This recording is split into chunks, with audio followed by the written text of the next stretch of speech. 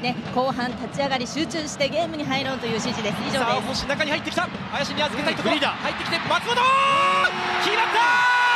同点ゴールを置いた!松本レイのシュート!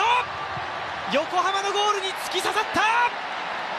まあ、今、星は多分ね、松本を見てなかったと思いますけどね、まあ、ただ、あの仕掛けがあって、中の、えー、多分林だったんですかね、入れたと思うんですけど、ここでいいトラップしてから、まあただこれ、合わなかったんで、逆サイドね、松本玲がよくここまで詰めてきましたよね、ああやって人数をかけると、こういうゴール生まれます。